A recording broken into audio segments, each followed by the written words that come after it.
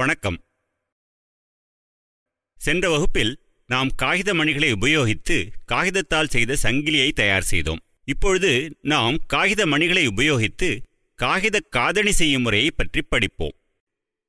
இந்த பாடம் முடியும் பொழுது நாம் பின்வருவனவற்றைப் பற்றி அறிந்து கொண்டிருப்போம்.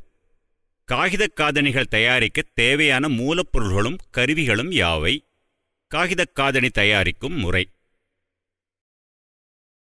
இப்பொழுது நாம் முன்பே தயாரித்த காகித சங்கிலிக்கு ஏற்ற விதத்தில் காகித காதணி தயாரிப்பதை பார்ப்போம். அதற்கு தேவையான மூலப்பொருள்களும் கருவிகளும் பின்வருவனவை ஆகும். சுற்றுநூல் காதணி துண்டுகள் மணிகள் காகித துண்டுகள் கட்டிங் பிளேயர் மற்றும் நோஸ் பிளேயர் ஆகியன ஆகும். முதலில் கட்டிங் பிளேயரை கொண்டு முறுக்கு நூலை தேவையான நீளத்திற்கு துண்டுகளாக வெட்டவும். பின்னர் துண்டாக்கிய நூலின் ஒரு முனையை நோஸ் பிளேயர் மூலம் முறுக்கிவிடவும்.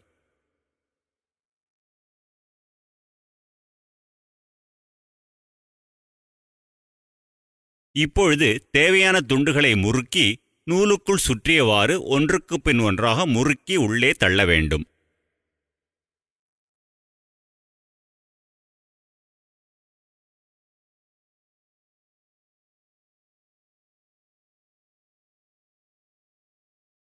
நோஸ் பிளேயர் மூலம் முனைகளை ஒன்றாக முறுக்கிவிட்டு எஞ்சிய நூல் துண்டை வெட்டிவிட வேண்டும்.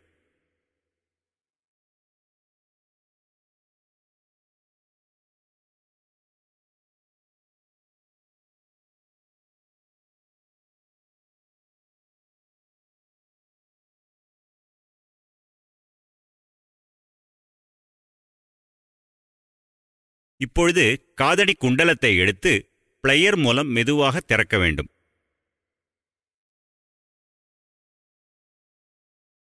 பின்னர் தயாரித்த காகித துண்டுகளை பொருத்த வேண்டும். பின் பிளையர் மூலம் ஒன்றாகச் செய்து அழுத்திவிட வேண்டும்.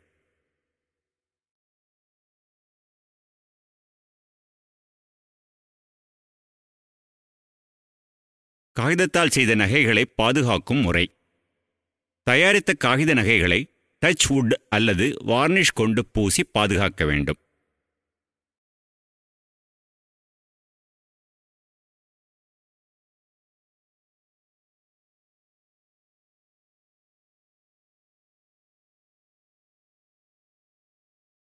நீங்கள் இந்த பாடத்தை விரும்பி ரசித்திருப்பீர்கள் என நம்புகிறோம். நன்றி.